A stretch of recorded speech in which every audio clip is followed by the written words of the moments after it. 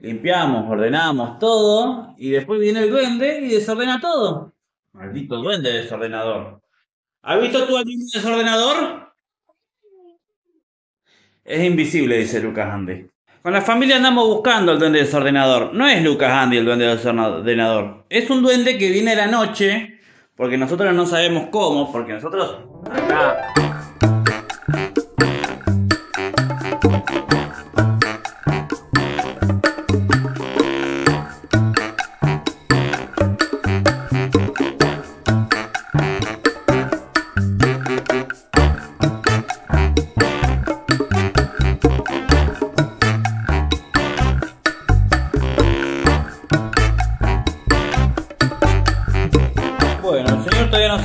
peinó, pero ya está ahí dibujando con la tableta, con el paint.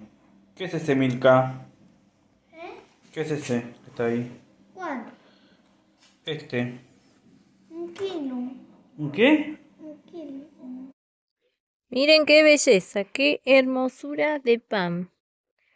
Con chicharrón, sin chicharrón. Bueno, acá tenemos 18 panes caseritos. Bueno, a ver el look. Bueno, hoy me puse este pantalón chupín que me regaló mi hermano, que se gastó un poquito, ya, ¿viste? Pero bueno, para salir a vender pan está bien. Debajo tengo una calza, por si calza algo. Y estos zapatitos que son muy bonitos, que no tienen nada que ver, pero bueno, eh, la onda es como para ir al fondo, entonces no, no lastimar calzado más nuevo. Me voy. Bueno, ¿Qué que- horas son? Ya hay dos que están encarados, dos panes. ¿Qué hora es? ¿Qué hora es? Son las 3 y, y 35, creo. Bueno, vamos a ver cuánto vendemos. Hoy hay gente en el parque. Me imagino yo que hay gente en el parque. Vamos a ver si llega al parque, porque por ahí vendes todo antes. Chao. Lo bueno, que hay clientes que siempre me esperan ya que vaya. Y ahora ya vamos a entregar dos. Y después vamos a ver si en el parque hay gente. Porque ahí está medio fresquito, no está tan caluroso. Si bien hay sol, hay sol. Allá estaba más lindo. Bueno, vamos a conseguir dinero. Parece una pared común y corriente, pero no, no es pared. Contame qué es. Este, eso es eh, Burlock. Eh, eso está hecho con telgopor, fenólico, telgopor, una malla de fibra y eh, acá le llaman base coa. Es- Baseball. Entonces, vos hiciste, vos hiciste la estructura en. Puedes ver adentro con perfiles. Con perfiles. interior.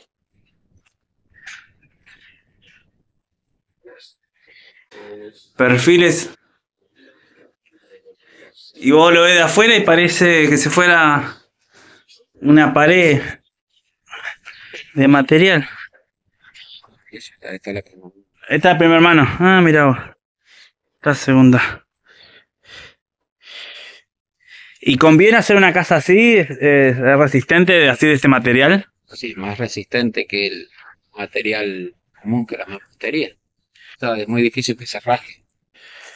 Y si uno hace un segundo piso, no esfuerza la estructura del primer piso, de los cimientos. Esto de para adentro vos le pones eh, aislante, todo. Sí.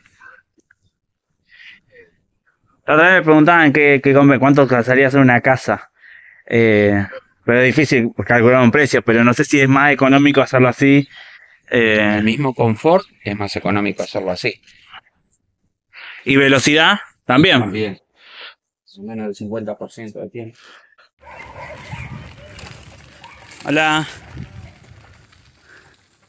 Bueno, hay algo que a mí me gusta de vender pan y es la simpleza, en el sentido de que yo hago el pan, espero que leude, lo meto en el horno, voy, salgo, vendo y tengo la plata.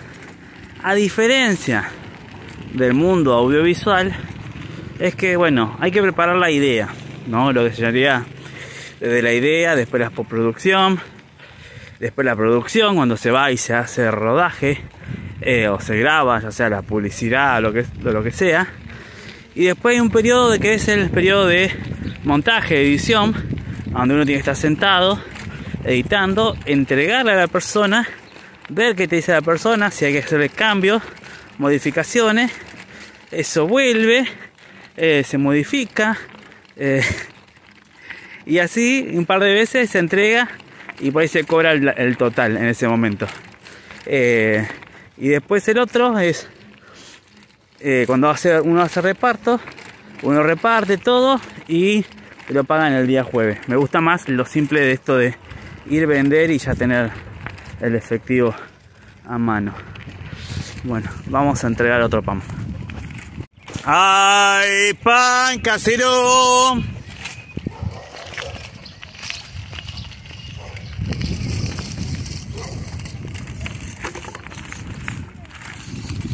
¡Ay, pan casero! Hola. ¡Ay, pan casero!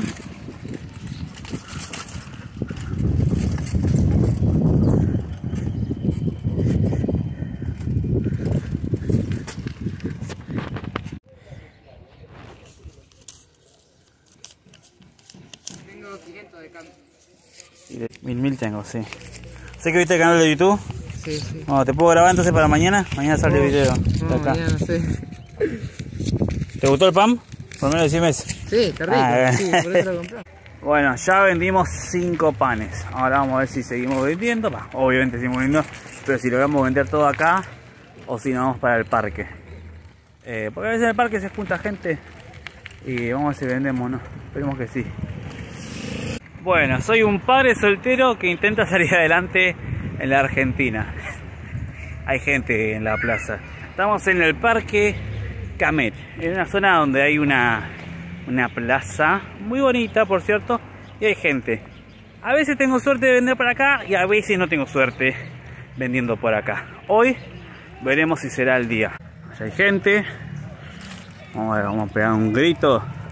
Son, por lo que se ve acá, son adolescentes, jóvenes. Bueno, queda la mitad. Es decir, quedan seis panes.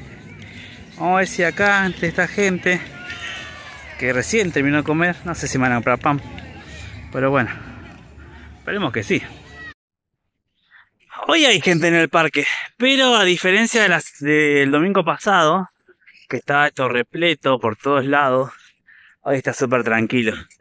Ahora, como te digo, está fresquito ahora. Corre un vientecito. Eh, mucho loro hoy acá. En el parque, este, lleno de loro. Pero no veo gente igual que lo, que lo atrape. Creo que quedan cuatro, cuatro panes. Así que eso tiene que liquidar. Voy a ir para el lado del lago. Y ahí en el lago lo termino de vender. Eh, bueno, decía, ¿no? Esto es lo que tiene de lindo la venta de pan. Que yo ya vendí, vuelvo a mi casa, compro la harina y listo, ya está. Eh, pero los otros son procesos más largos, es otra cosa. Igual también convengamos que eh, yo no cobro lo que debería cobrar. Capaz si yo cobro lo que debería cobrar a la hora de hacer audiovisual, eh, ahí sería otra cosa. Yo le cuento, un, sueldo de un camarógrafo por una jornada de 8 horas ronda los 500 mil pesos. Eh, y está, y si usted entra a la página del SICA, eh, esos precios están como desactualizados porque tiene que ir a un acuerdo. Eso es lo que cobra. Sin cámara, sin equipo, sin nada. También esto yo decía a un cliente mío, mirá, yo no te estoy cobrando ni siquiera la cámara. Porque el alquiler de una cámara puede salir 16 mil pesos una jornada o 26 mil pesos una jornada, eh, que es el, el alquiler. Usted busca un, rental y es lo que sale. Ahora esto no significa que esa cámara vaya con un camarógrafo, que vaya con una edición de video, que, que, haya alguien que lo produzca, ¿no? Es la cámara sola. Y producir y todo, bueno, es mucho más caro.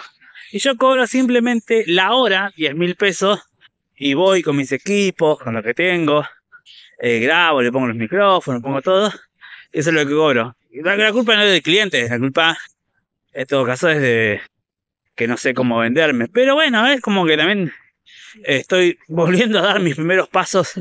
Porque antes yo hacía audiovisual, pero lo hacía desde, desde el conocimiento de la acción, de lo que hacía. Y, y hoy ya hago audiovisual de, ya desde el conocimiento del estudio y también del, de la acción.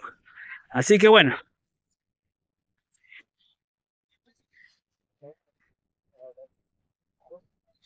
Claro, yo sí cobro. Póngale, porque cualquiera, un, un grip o cualquier asistente en audiovisual eh, cobra eso, ¿no? Si yo cobro lo que cobra un asistente o algo así, tendría que estar cobrando también 400 eh, mil pesos en la jornada. Y bueno, sí, ya con dos jornadas de rodaje, yo ya estoy chocho, imagínense. Eh, pero es un tema, es eh, esto, o el audiovisual, te podés morir de hambre o podés hacer un montón de plata. Depende de, de los contactos que tengas, de cómo hagas el negocio, de cómo te vendas y todo. Acá no ofrezco pan porque ya hay un señor vendiendo pan, entonces no voy a estar gritando pan y está el señor vendiendo pan. Pero vamos a otra zona.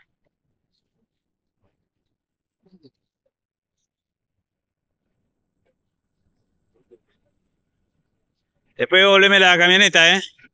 eh este tipo me dejó la bicicleta, se llevó mi camioneta. Ah, acá comienza el colectivo. Siguiendo con el tema del video de los colectivos, acá comienza este colectivo que es el 73, si no me equivoco. No me acuerdo cuál era. Bueno, acá comienza este. A ver cuál es. A ver, a ver. Bueno, reparto lo que me, me molesta es que acá 63 563 lo que me molesta el reparto es que ponele, yo ya sé que acá estoy haciendo horas productivas ya trabajé, ya vendí pero en el reparto hay horas que son improductivas que estás al pepi y eso eso me molesta acá hay uno que se traslada en motorhome o en casa rodante. Vamos a acercarnos un cachito. No me animo a preguntarle, pero bueno, se nos acercamos. ¡Ay, pan casero!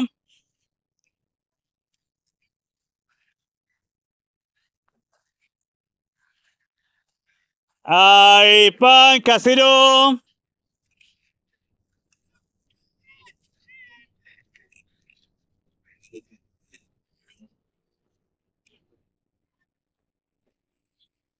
Se ve que era una camionetita escolar. Y, y ahora es un- una casa rodante. Ah, bueno, ¿no? ¡Ay, pan casero! El mar.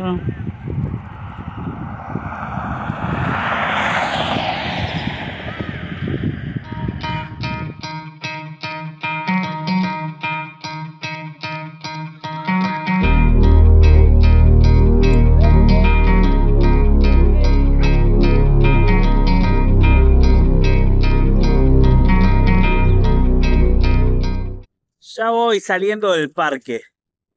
Eh, no hay nadie en el parque realmente hoy. Y los que están se están yendo. Así que, porque a veces los domingos acá es un desfile de autos. Eh, pero ya se están yendo todos. Así que bueno, vamos a ir a otro lugar, a otra zona. A ver si ahí vendemos los tres que nos quedan. Y ya vendemos, me baño, me afeito porque estoy muy barbudo. Y ya nos quedamos en casa. Bueno, son las 5 y 5 y 24 minutos. Ya compramos la harina. Eh, ya regresamos a casa, vendimos todos los panes. Bien, estamos más cerca de poder pagar la luz. Ahora entiendo a mi padre cuando me decía, apagar la luz, que la luz no es gratis. Dejan todas las luces prendidas. Ahora te entiendo, papá. Ya en el cielo, disculpame. Bueno, no sé si estás en el cielo, pero donde estés, eh, disculpame, la verdad, porque eh, es verdad, loco, la luz. Ese sufrimiento de que todavía andamos remándola. Bueno, nos vemos en un rato, pero nos vemos mañana, digo, chau.